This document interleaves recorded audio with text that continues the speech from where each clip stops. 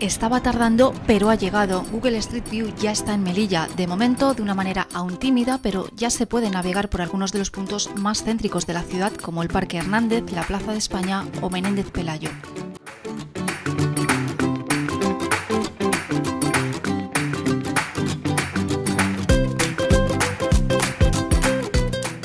La herramienta del gigante tecnológico permite ubicarse y moverse a través de imágenes panorámicas tomadas a pie de calle. Por ahora, las de la ciudad autónoma han sido registradas en zonas peatonales.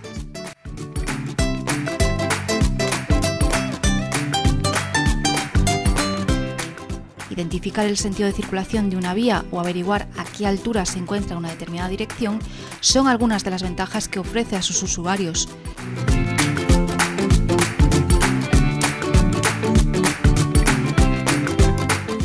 Por novedad y usabilidad, melillenses y turistas ya disponen de una nueva opción para recorrer la ciudad este verano.